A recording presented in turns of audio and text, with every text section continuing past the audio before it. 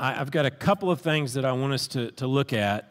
You know, when we're talking about discipleship, we're thinking about these traits in the context of is someone investing in you, and are you investing in someone? The invested life. And, and when we're talking about discipleship, we're talking about this goal of being transformed into the image and likeness of Jesus. So, how can we come alongside someone and, and be a part of this transformation? So, in the context of this discipleship relationship, what this is probably a rhetorical question. I know dad lots of times asks questions and like wants people to answer. I feel like I run out of time when I do that. So I'm scared. But but you can you can shout it out if you have something that comes to your mind. When you think about this discipleship sort of thing and relationship, what is if you are the discipler, if you are the person who is coming to someone to help them grow into the image and likeness of Jesus, what is the first, the most important, the most central question for you to be asking. It doesn't mean that you necessarily ask this question out loud, but the central guiding question for you as a disciple maker. Does anybody have a thought? So, like, what, what should be like the overarching, the key question? There's lots of questions. We're going to talk about lots of questions tonight. But the key guiding question that really never goes away, it's always there in the background, it's always running in the back of your mind. And it's how we start, it's how we come to this discipleship project. And, and for different people, they think about this different ways. I'm going to propose a right way and some, and some wrong ways, but you can disagree with me, that's okay. Some people come to a discipleship relationship, to this connection with this person, with this question What does this person need? Seems like a good question. We want to help meet needs in someone's life. So, what does the person need? Seems like a logical question. There's a problem with it, though. Another question that we might ask is what can I do for this person? So, more so, it is connected to what this person needs, but more so connected to what do I have? What do I bring to the table? What can I do for this person? Which is an aspect of discipleship. You know, we talked about this when we first kicked things off, right? Being one step ahead in the path. So, there is some value to this idea of what can I do for this person, but it still falls short. The third question would be this what, and this, you know, we're about community, Christian community, worshiping community. What can we accomplish together? In this discipleship relationship, I'm connected with this person. What can we do together? Again, it seems like a great question, but I, I want you to think of this question as dictating what is the center of this discipleship relationship, this discipleship paradigm. So, the question number one what does the person need? Who's the center? The person who's being discipled. They're the sinner. You're starting to see where a problem might be coming in?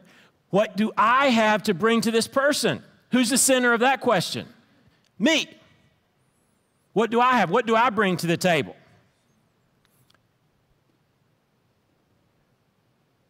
So that is not what we want to be the center of things. Then we have what can we accomplish together? Then the relationship is the center of discipleship.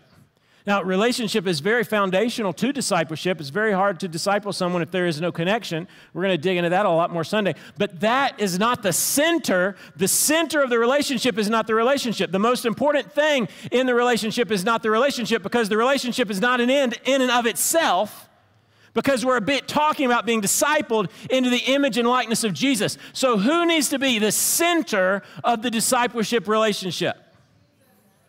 So, what would be the key question then to guide us towards a God centered approach to discipleship? Nothing else really makes any sense when you put it like that. You know, what else could discipleship be centered around? But yet, this does happen.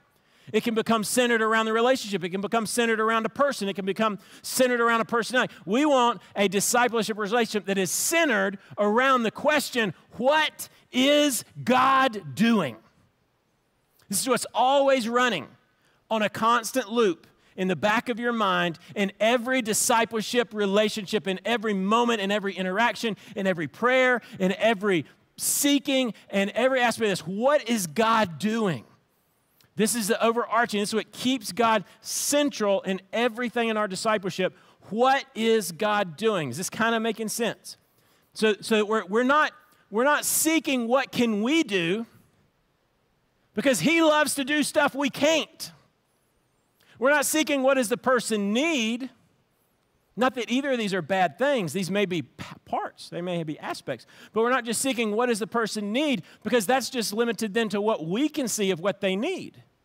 We need to see what God sees they need and what God wants to do. And we might see a need that they're not ready to have met and we can't meet. Do you see what I'm saying? So being centered around the person, being centered around the relationship, being centered around us, we bring, it's got to be centered around God. God, what are you doing in this relationship? What is going on? We said this statement for years and years. I don't even know where it comes from. Find what God is doing and join Him. Who was that? Henry Blackaby. Yes, the Experiencing God Bible study from, boy, it's really good. Find what God is doing and join Him.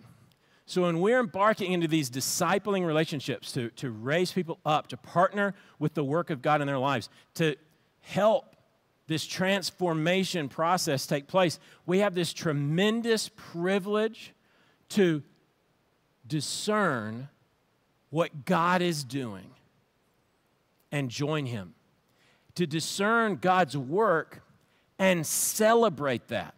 There's, there's this, this discern and affirm. See, when you're trucking along with Jesus, it can start to get bleak it can start to get discouraging at times because we may not see God's perspective of His working and His transformative power in our lives. And so sometimes it's such a blessing to have someone come alongside us and see and affirm what God is doing, what God has done, and what God is doing. This is the uh, affirmation and the discernment. An outside set of eyes can bring such a powerful perspective, especially when we're discerning and asking this question what is God doing? So, what is God doing? What does God want to do? We, we broke it down in the beginning of the series into three key areas, and we're really going to sort of expand that tonight. I do like the three areas, and we'll probably stick with that language for Sunday mornings, but there's, there's another grid that I wanted to give everybody here tonight I believe we're going to have time to do it. So, we talked about sort of three distinct transformative works of God in three distinct areas the renewed mind, the surrendered will, and a healed heart. And those are super helpful. And really, you can, you can sort of finagle it and work almost everything we're going to talk about tonight into that. But I'm going to I'm going to use a little bit different language to try to expand this a little bit more. So I'm, I'm deeply indebted, these, these four questions and these five areas we're going to look at tonight. There's a professor of mine by the name of Dr. Oliver McMahan. And this, this grid, if you will, has been in the back of my mind for ministry for probably 17 or 18 years. And it's just what I'm always going back to in every conversation, in every relationship. This is the grid, this is the framework where I'm trying to find what are you doing, God? And this is what I base it off of is these five areas. The first is the assumptive or the spirit. You know, we're spiritual beings at our most inner, most deep level. So this, this aspect of spirit. And this is connected with our primary assumptions about life. And when I talk about assumptions about life, these aren't really necessarily things that we think about consciously. It's like pre thought, is how some people talk about it. It's like we are just here. We're just assuming this. We're just, this is our, our worldview, our context. This is our, our walk with God, most centrally. So, this is a really deep aspect, but is absolutely key. Out of this place of spirit, the rest of these aspects should be influenced out of transformation that comes from the deepest parts of who we are, these assumptive aspects of the Spirit. Then the emotions. We need healing in our emotions, we need awareness of our emotions. Emotions are really, if we're, if we're stepping beyond those assumptions, those life assumptions, that pre thought, assumptions would be things as far as what we're conscious of. the most powerful aspect in most people's lives, if we're really honest, even most believers. The most powerful aspect in most people's lives, as far as dictating what's going on with them, is emotions. And in most cases, people have an emotion, and then, of course, number number where we're at three. Number three, the cognition, the thinking, and then think about it and logically come in to build a case for what their emotions told them in the first place, and then they're like, we've made a logical decision. You, you came with a preconceived thought or impulse to any logic. So it's really a confirmation bias story at that point, right? So, cognition, thinking, very important aspect. Renew the mind. Four, sorry, I've got these in letter forms. I should to turn D into four. But behavior. What is the action? This is where the, the will comes in here. It's also connected with the assumptive and the spirit. But the behavior, what is actually happening in someone's life? We've got, I mean, James is so strong here. We've got to look at action at some point in this thing. It, it, can't be just talk. We've got to get to behavior. And then five is the context. What is the context? What are the situations going on around them? What are the relationships? What are the things? What are the circumstances? What are the family systems? What are the events? What are the develop? What's the health? All of these, these are the context in which we live. Now, should we be dictated by that? No, but if we're discipling someone, we need to be aware, they need to be aware. Context is extremely powerful and we want to be aware. And we, this is the place where the behavior happens. This is the place where they're being funneled into probably different directions, right? Is their context. So these five areas are we're going to try to walk through and look at if you're discipling someone, what are some practical ways to dig into these areas? And uh, most important, what is God doing? What is God doing? But what happens is each of these areas needs to be given attention to over the course of a discipleship relationship. That doesn't mean every time you get together, you're evaluating all five areas. That's not what I mean at all. Because there may be one time where you're just focused on emotions. That's the whole time that you're meeting with someone, that you're talking with someone, in that interaction, and it may even be a season that you're focused on one of these areas. But in the back of your mind, you're always asking the Lord, what is going on? And you're sensitive to, okay, we need to explore something different because all these are interconnected. We're, we're integrated beings. So we've got to get into these other areas at some point. so we've got this grid laid out, and we're working through it in our mind in these conversations and in this discipleship context. But the assumptive is, is truly the aspect where you ask people, and, and I realize this is more true with children probably than adults, but I think it happens with adults too, where you ask people, you know, why? Why did you do this? And what we're really meaning is, what were you thinking? And sometimes people just don't want to tell us, but sometimes I really believe they're honest and they say, I don't know. Some of you have faced this with your children. It's like, why did you do this? Like, I don't know. Sometimes they're telling the truth, they don't know. They don't know. Now, we may be on a journey to help them come to know and discern and learn and grow in that, but they may not be lying. That there is a place where we don't always know why, and we have to do some work and dig. And so, what are some keys to this area? That a discipleship relationship, when you're ministering to the deepest parts of a person, it's, it's, it sometimes is words, but don't assume that it's going to be words. Don't assume that it's going to be a conversation. I think so often we think of these discipleship relationships as we're, we're sitting down, and I've, I've been there many times. I'm not, I'm not debating this, but where we sit down and we talk with someone and we, we pray with someone. Maybe, you know, we say some nice words and we're asking them some questions and we're reading scripture, and all these things are valuable. But there's times when we're coming to minister to this area where it's just put on some worship music, or maybe there's not even any sound at all, and you're just laying on the floor waiting on the Lord.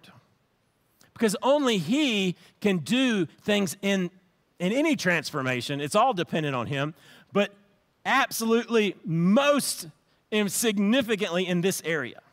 This is not an area that we're going to puncture easily apart from the Spirit of God. So we're trying to discern what are the deepest things, what makes this person tick, what makes them do life. And so we need to come and experience the presence of God together. That we come into this worship environment and we're discerning with them the, work of God in their lives. Anything that happens here is divine intervention. We're just privileged to be a part. So we can't get prideful here. Do you see what I'm saying? That's a blessing.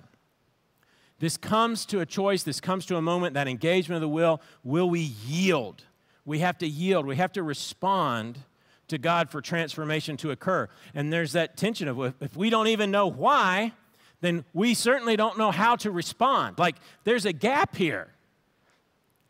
We know we want to be transformed, but we're not really sure what needs to be transformed. Some deep aspects. And so we want to be looking to the revelation of the person of God because things start to fall into, uh, fall into place when we lock eyes with Him. That's, that's probably the biggest key for this, this aspect because it is so deep within us. So there's, there's this area of the spirit where we need to encounter the person of God. There's the emotions need to be healed. We need to experience the presence of God. There's the thinking, right? The renewed mind where we need to encounter and live out of the heart of God. And then there's behavior we need to come into alignment with the will of God. Okay? Romans 8:16 For his spirit, this is the spirit Holy Spirit, joins with our spirit to affirm that we are God's children. This is central really to everything that we're going to walk through in these areas that the spirit of God is crying out within us that we are God's children. So, just some practical things as we're, we're walking through this one. One, beware, beware, beware. Discipleship is basic, discipleship is simple, discipleship makes sense. If you start having a conversation with someone and you're going into the deep places of revelation and encounter and all kinds of crazy and all of that is needed i'm not i'm not trying to dismiss that or disregard that. All of that is valuable. But if you start to go into those places and you start to feel like you are completely lost then don't be afraid to pull a little and pull someone out of what i call the christianese and pull them into just what happened yesterday what happened last night? What is God doing? What is He speaking? And, and if they still are off in this, well, I had this, well, well, well, then just keep bringing them back because it needs to make sense. If you can't understand it, don't assume that they know. But even more significantly, if you can't understand it, don't assume that there's any life transformation happening. Do you see what I'm saying? The, the, the great myth you're, you're so heavenly minded, you're no earthly good. No, that, that is just not how it works. Who was more heavenly minded than Jesus? He was a lot of earthly good. So if we start to feel like we're bumping up against that, then it's time to pull them down to the image and likeness of Jesus. It's got to be practical. It's got to be transformational. It's got to be it's got to be playing out. It's got to impact all five of these areas. It can't just be here in something that's amazing and transformative that's happening deep within a person and there's no fruit in their choices and in their behavior and in their emotion. Then this is a real problem. And this is where discipleship can just get completely the legs chopped out from under it. Chad and I have had multiple conversations about this where you just you don't under, you, you, you feel just lost. You're, you're, you're trying to minister to someone and it's just like they're all over the place in this christianese and then you come to find out there's not good fruit. There's not good character and it's because we, now they have a responsibility, but we as disciple makers have not assessed all of these areas, all of this grid. We've let these people stay here where they could talk the talk, but we haven't put them to the wall. Can you walk the walk? So we've got to jump from this area into some of these others. what's going on in your emotions? What's going on in your thought patterns? What's going on in your behavior? What's going Do you see what I'm saying? So this is what saves us from being being trapped or letting someone hide in the Christianese. And I'm, I, again, nothing wrong with amazing revelations. You see this in the Bible. These are biblical experiences, intimacy with Jesus, all this. But it's got to translate into day to day fruit. Amen? Everybody okay? I feel like I got really excited about that one and no one else was. But if you encounter it, you will be excited about it too. It'll be helpful to you. So we've got this aspect here of surrendered will that in these deep places of who we are, we are we are surrendering whatever needs to be surrendered to the will of God. And uh, again, it just it's important as we're discipling people, sometimes just having this sort of third eye view, having this perspective from outside of their lives there's certain things out of brief conversations, even, but definitely lengthy relationships, where we will see the, the just disparity, the grave inconsistency. Like this is this is like a real problem. Like, how are you thinking you're living for Jesus when this is happening in your life? And you're asking people about this stuff, and they're like, Yeah, I'm I'm I'm I'm living for Jesus and they don't see it and there's these two things that we want to keep in mind because they it doesn't mean necessarily that they are lying. They may be just lying but oftentimes there is denial where people are truly in denial and they're so deep in denial that they believe it. They're denying the full impact the full weight of a decision or something that's happened in their life or they're wrapped up very similarly in self-deception so we want to be patient. We can't, we can't bring these amazing revelations. It has to be the what is God doing? It has to be in His timing. It has to be aligned with Him. Ha- he has to wake people up out of things like that. It's not on us. We're there to ask the questions and to try to discern what God is doing and try to complement that. So I, when I share this, I just I want to be sure that it's in this context because you could get overwhelmed thinking about, oh, I've got these five areas and I've got to be assessing all these aspects of their lives and all these things. And I, that may feel a little bit overwhelming. Trust me when I say it, it can become very simple and just literally be a grid in the back of your mind. But the, the key thing that I want you to know is that these areas are not your responsibility. You can't bring transformation.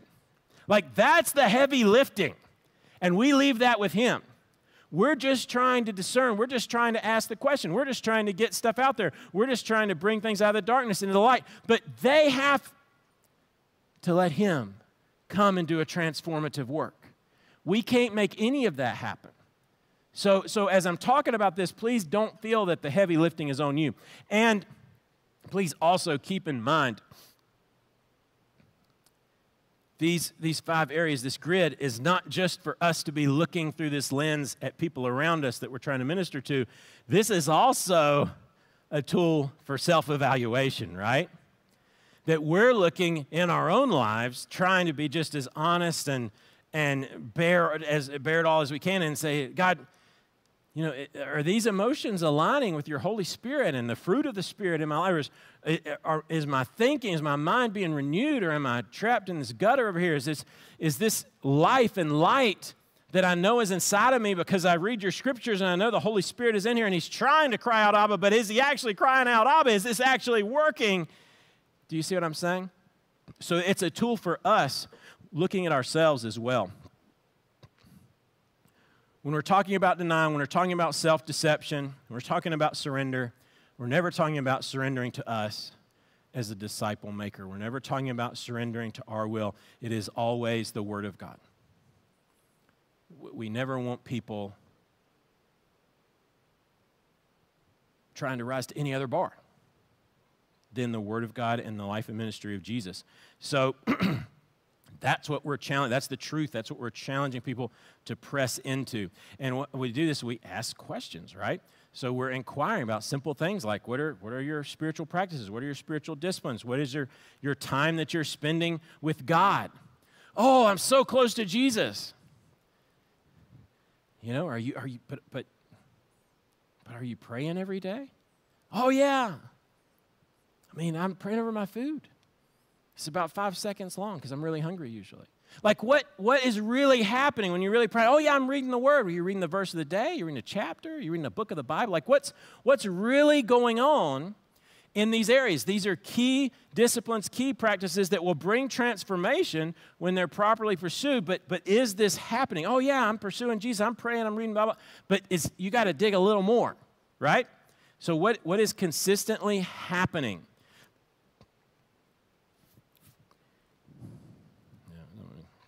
Little rabbit trail, sorry. So, you, you see this come into connection with the other areas like forgiveness, love, hope. We're going to talk about these more later, but just for an example, repentance. So, repentance is in this area. Before God, this deep place, the spirit, the emotions, this is the place of repenting, our heart being rended open, our heart turning to Jesus, this place. But there's an emotional response that should be happening, right? There should be a remorse. There should be some things going on in our emotions. There should be some renewing in our mind. Our thinking should be changed to God's heart, to God's ways. Our behavior should be changing if there's true repentance, right? There should be fruit of repentance, behavior change in our lives, behavior transforming to the image and likeness of Jesus. There should be either new relationships formed in the community of faith or old relationships being transformed because we're not the same person. So, where something has been like this, we're suddenly different. So, there should be transformation in all these aspects. So, the work of the Holy Spirit, um, the work of the Holy Spirit is superior to all of these other areas. You see this sort of in 1 Corinthians 1 and 2. It's superior to our thinking. Paul really goes off on that. It's superior to our emotions, right? Don't let your emotions rule. Uh, 1 Corinthians 1 18 through 19. The message of the cross is foolish to those who are headed for destruction, but we are being saved. No, it is the very power of God. I'll destroy the wisdom of the wise and discard the intelligence of the intelligent. This is where only God knows the thoughts. Only, and, and so it's a picture of this superiority of the Spirit, and our spirit submitted to the Holy Spirit brings transformation to these other aspects of our lives, right? Okay, so we're gonna, we're gonna buzz, buzz on through these. But prayer, waiting on the Lord, the gifts of the Spirit, worshiping together, that you're just, you're gonna sit and we're just gonna worship the Lord, we're just gonna wait on the Lord. But I've got these questions, but I wanna talk about this stuff. Well, we'll get to that. You know, it's, it's this change of pace to get into the Spirit. Number two, emotions, all, all over the place, right? Strong feelings, super powerful, bitterness. What do we affirm here? God created emotions. These are from him. They are a gift. Sometimes it doesn't feel that way, but this is this is something that he longs to be in. He created emotions and he ministers to emotions. Right? So we provide care to address emotions. What does this look like? It does not mean that we condone every action of a person. And this is important. We're affirming, we're responding, we're attending, we're doing all these things. We're, we're, we're trying to step into empathy. It is very significant that we're listening to feel, we're trying to step into the other person's shoes. It doesn't mean that we condone their actions, but we recognize pain and we extend compassion. This is discipleship. Amen? We're listening to understand, we're recognizing, we're trying to feel, we're, we're trying to identify with that. Questions like, what, what were you feeling about that? What emotions were happening in your life? there's, there's great tools. You can just Google emotional wheel. I wasn't sure I could get the rights to one this afternoon to put it on the screen, but where you can just have this wheel of all these connected emotions, different aspects of feeling, and, and use this as a tool to help people dig in their emotions, to process. What are you feeling? In some cases, it can be men and women. I'd say it's more common with men, but it can certainly happen with women as well. They have been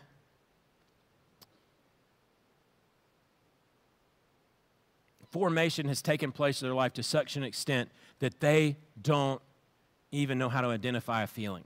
I, there are feelings there, but they have so squished that that if you're asking, what are you feeling? I'm not feeling anything. And, and they're, they're, they're telling the truth. They're not trying to lie to you. Again, There are emotions there, but they have so suppressed that, they have so pressed that down for so long that they're completely out of touch with that and they're unaware. You may see the fruit of an emotion in life, but they may not.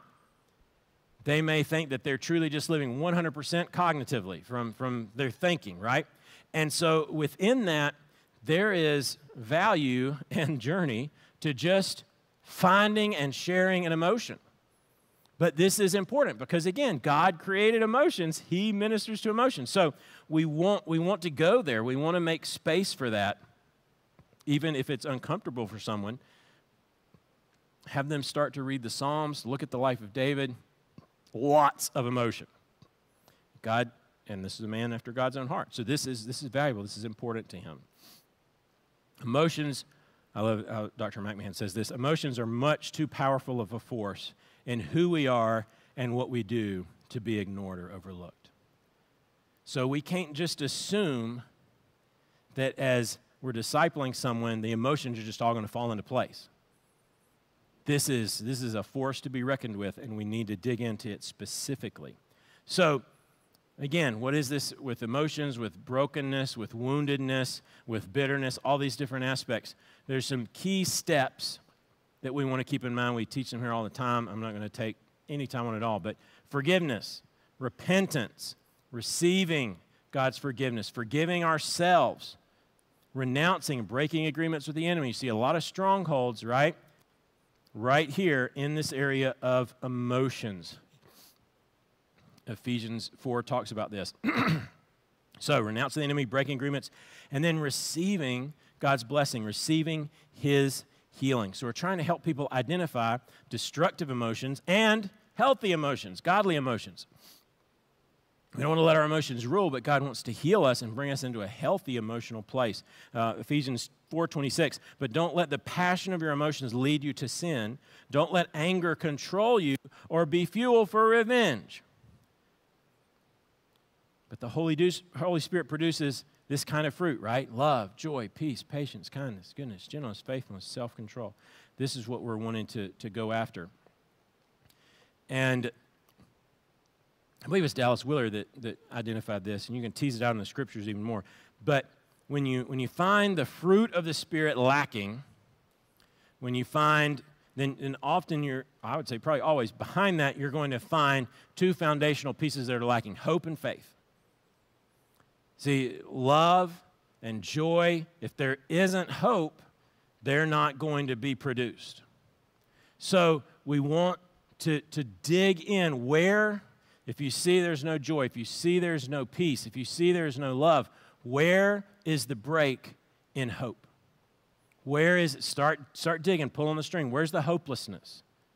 Because that's going to start to bring, when there's hope restored in Christ, that's going to start to produce the fruit of the Spirit.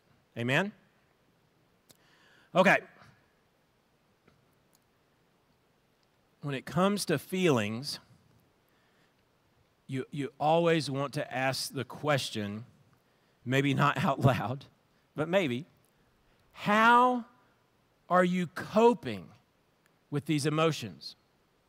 How are you coping with these emotions? And often there's some attempt to control. So we, we feel out of control or we feel stressed and we want to go and eat some yummy food. Or we feel this and we want to go and do a video game. Or we feel this and we want to go, and then it can get into really, un, I mean, all these can be unhealthy, right? But pornography and so on and so forth. And we're, we're coping with feelings. So we want to we want to look at coping we want to take people. I love how Dr. McMahon says this. The only true effective coping is in Christ.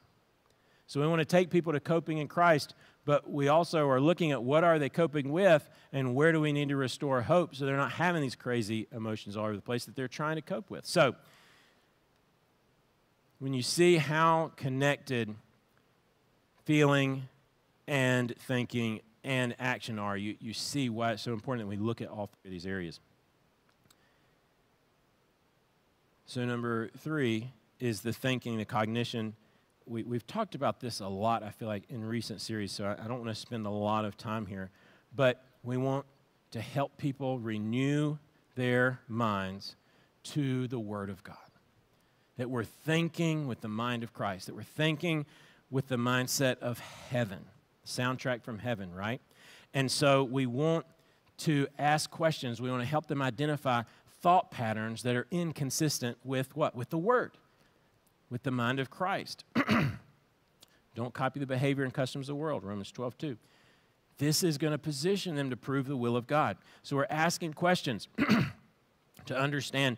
Um, we're asking questions, causing people to think. You know, you can ask feeling questions, and people can get off into feelings and feeling, feeling. But when you ask cognitive thinking, like patterns, you see thought patterns, compare, priorities, listing, order, sequence, priorities, all these things require thinking. This isn't emotion at that point, this point. Then it's it's taking people into a different aspect of who they are, into this place of thinking rather than just feeling. And this is where we approach things with reason and rationality. And this is a very important part of who we are. God values the mind. He wants our mind engaged.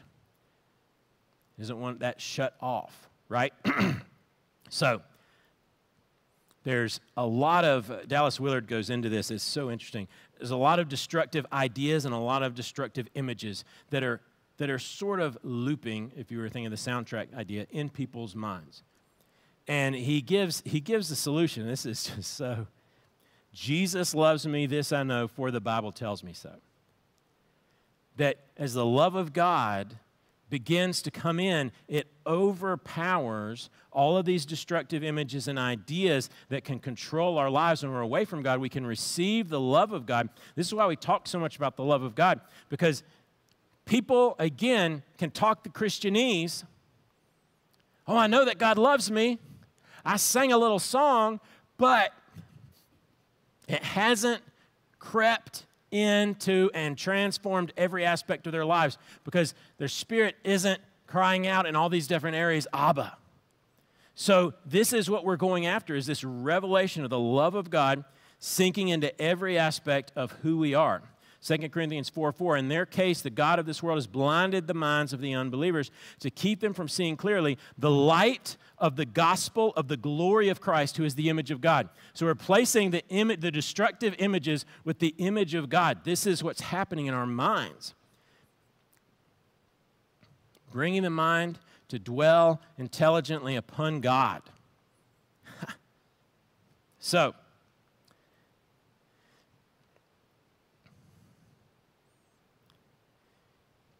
This helps keep us from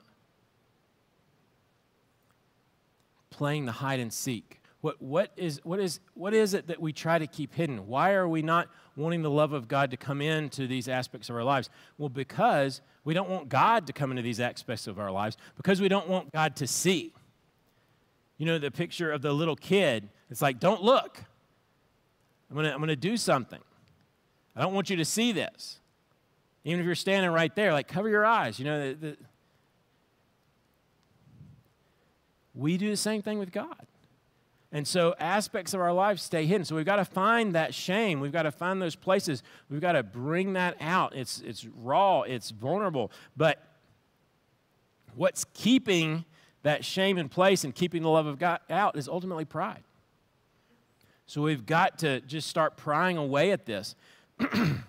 When we see transformed emotion, when we see transformed thinking, we're going to see transformed behavior, right? Matthew 12 34, the second half there, whatever is in your heart determines what you say. So we see of the abundance of the heart, the mouth speaks. We see action, words flowing out, behavior flowing out of these other places, thoughts, and, and feelings. So there is nothing about the ministry and teachings of Jesus that's just focused on knowledge. It's focused on transformation. It's focused on behavior. So we want to ask these questions very specifically about behavior. What is going on? What are you actually doing? Are you cussing these people out at work? What you see what I'm saying? Uh, John 4 34, John 15, you know, these are my friends. They do what I command. This is my command. You love one another. This is the doing, right? so we're facilitating a response to the direction and empowerment of God to produce life change. And, and the final place where you see this, you see this in the behavior, but you see it played out in this context. And, and taking a picture, trying to help someone even get a sense of their context. You know, there's exercises you can do where people look at their family tree, where they look at their family of origin. I mean, these things are just, this is the context you come out of. What's the context where you are right now? What are the people? What are the relationships? What are the things going on? What are the circumstances? What's going on? You know, it's like we're coming in. we're trying to deal with some emotions or something, and, and someone's just like, well, hey, I'm homeless. There's something we need to be aware of in their context. it may be a difficult conversation to have with them about some of their thinking and some of their emotions and some of their behavior. It's like, I'm just trying to get my next meal and a roof over my head tonight. So we need to be aware of the context when we're discipling people. There can be physical things going on in their bodies. Now, is Jesus still the solution? Yes. Or the, are the thinking and the and the uh, emotions and, and all and all these behavior, all these things that could be connected to why they're homeless. It's, it's not. It may be connected, but we need to be aware of. they may have a different set of priorities, and we need to be sensitive to the Holy Spirit and the Lord in that place. what is their context? I- environment is tremendous. When you look at homelessness, so often over and over, and I, I, don't know why I'm stuck on this as an example, but over and over, it, it's just things that have happened to many, many other people. They just didn't have a support system to take them through that. They were alone. They didn't have a family, or they didn't have a close family, or they didn't have, they, they didn't have close relationships. So, this area of the context of relationships really cannot be overstated. Ecclesiastes 4 talks about this. Lots of times, maybe we hear these scriptures at weddings, but it, it applies to more. Two people are better off than one, for they can help each other succeed. I don't know where I would be without people that have helped me. You know, if one person falls, the other can reach out and help. But if someone who falls alone is in real trouble, and, and this is where we see people's lives begin to completely unravel. So we need to see what are the key relationships? What are the connections? What is the support system? Or the people that you can be honest and real with? Or are there none in your life? These are, these are very important discipleship questions. Then here are these significant people in your life. What is their influence in your life? Right? This is where you have the folks who maybe get saved or maybe been saved a long time and they, they're connecting with these friends, and whenever they get together with these friends, they're falling into sin. What is their influence in your life? You know, the tragedy here is where I'll talk to people and they'll say, Man, I just my my closest friends, the people that I can just be the most real with, you know, none of them are believers. There's like alarm bells going off, right? But this is the situation that so many people find themselves in because they feel that they have to be fake around believers, but they can be real about the non believers. They don't feel shame there. They feel shame with you. So, this is where this, this discipling relationship and this affirmation, this empathy, and this understanding, this care, the love of Jesus, somehow, Jesus was able to hang out with sinners and they didn't feel ashamed. They felt convicted and their lives were transformed. That's a humongous difference. Shame pushes you down and keeps you trapped. Conviction, repentance, transformation. So we've got to be a source of that love and that compassion and that empathy and that transformative power of God rather than the voice of beaten down shame so people can be real. Amen? So, physical bodies are people caring. The body is the temple. Are people caring for their physical body? This seems like a strange thing for discipleship, but Jesus died on the cross in a bodily form for your bodily resurrection. He's very concerned about your body. He says, Your body. He says, You know, I was dwelling on the earth in this place called a temple. It's beautiful, gold, this amazing place. And now that is over, torn the veil, and I've chosen to be in a temple that is called your body. Like there's there's great value, something we need to be taken care of. So this is an aspect of discipleship. Are you honoring God with your body? We're not just talking about sexual purity here. We're talking about what are you eating? We're talking about are you exercising? We're talking about all of these aspects of life. Are you eating something green? Other than green apple jolly ranchers. Is there, is there, so, so all of these aspects are so important. the key relationships, the relational support system, and that we're, we're pressing in to these questions, not just, oh, how's your marriage doing? Oh, my marriage is great. No, how are you investing in your marriage?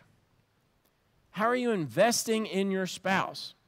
The financial context. What, what's going on in this area? Is this area surrendered to the lordship and reign of Jesus? You know, finances can be one of the last ones to go, right? Are you giving? All, all these different aspects.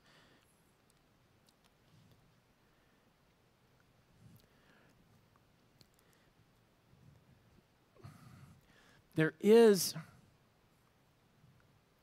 a roadmap for how I think we typically think about transformation happening in people's lives. And, and it's helpful.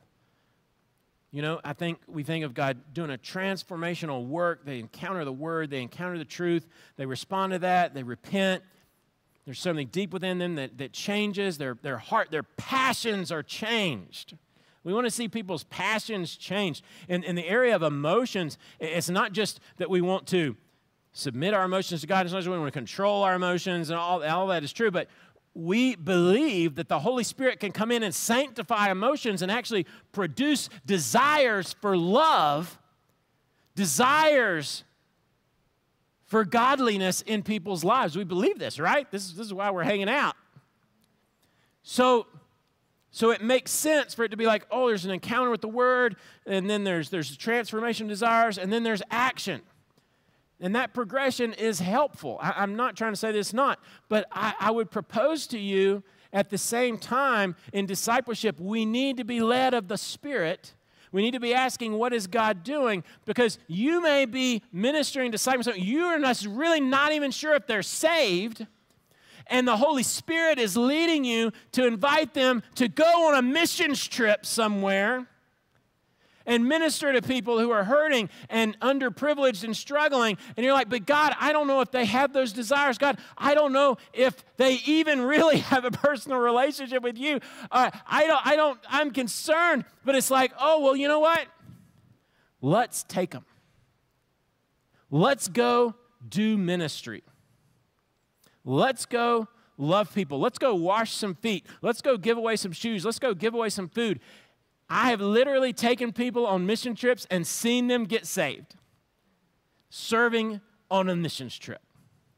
Glory to God. Now, does that fit perfectly in our in our no be do in our in our well there was transformation and there was a heart transformation and then there was desire? No, no. I mean, in many of these cases, I wonder why these people even went, but they went. Something within them. What did we affirm? The work of God. If someone wants to go and do ministry and do a mission trip and they don't even know Jesus, that's God working. That's like miraculous. That's incredible. Unless there was a hot member of the opposite sex or something they thought was going. Like, why are they doing it? So they're, they're going, and God's meeting them in their doing, changing their passions, renewing their mind, and bringing salvation into life. So I just I want to be sure that you see, you know, there's there's the neat, tidy progression and how these things tie together that we put together. But God just loves to blow up our boxes. He does things in all kinds of crazy ways. You see it in His Word. I've seen it in my life, I've seen it in ministry. So, this is why we're asking what is God doing? God's calling them to go on a mission trip. Well, let's, let's go. Let's go see what God's going to do. It's going to be wild. Amen? We're going to pray. We're going to wrap this up. As we close in prayer, I want you to ask the Lord. It may be something even pinged as we were talking about this, but just ask the Lord, Lord, is there something in one of these areas? Where are you working slash want to work in my life right now? Because I can pretty much guarantee you it's it's it's in one of these areas. Is there something in that deep place of the assumptive that needs to be tweaked where my will needs to be brought in alignment where where there's still just some some pre-thought from some old places and it needs to needs to change. What's going on with my emotions? Is there anger? Is there a foothold of the enemy somewhere in my emotions? Is there is there a point of hopelessness that's producing some of this bad fruit lack of fruit is there love? Is there joy? Is there peace? What's going on in my thinking? Is my mind renewed? Or am I stuck in some of that stinking thinking? Is my, is my mind reflecting the mind of Christ? Or is it going to these other places? Is my mind positioned to prove the will of God? What's going on in my behavior?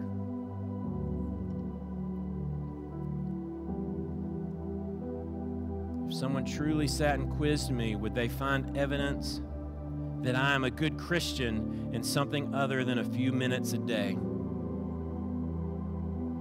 Would they see evidence in my behavior of the image and life of Jesus? What's going on in my relationships, in my context? Am I seeing God at work?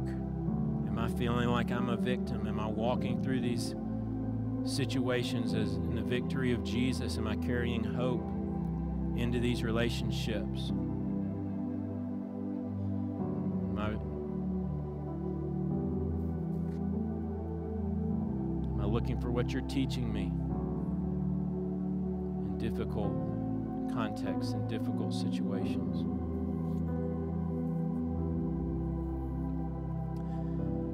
Holy Spirit, we just surrender afresh to you invite your rule and reign in all of these areas of our lives. We want you to produce the character of Jesus, the emotions of Jesus, the thinking of Jesus, the behavior of Jesus, because we want every aspect of our context to be transformed by your goodness.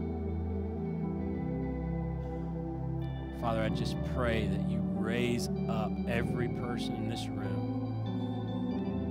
go and obey your word and make disciples, to go and ask some uncomfortable questions and pry into these different aspects of life, to go and to celebrate what they see you doing and your value in people around them. In Jesus' name, amen and amen.